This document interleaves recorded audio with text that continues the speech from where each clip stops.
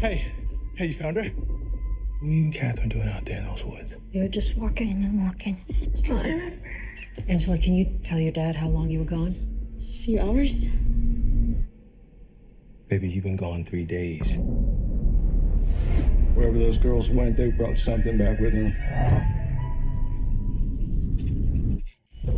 The Exorcist Believer premieres Saturday, August 17th, 9 p.m. on HBO. Bye.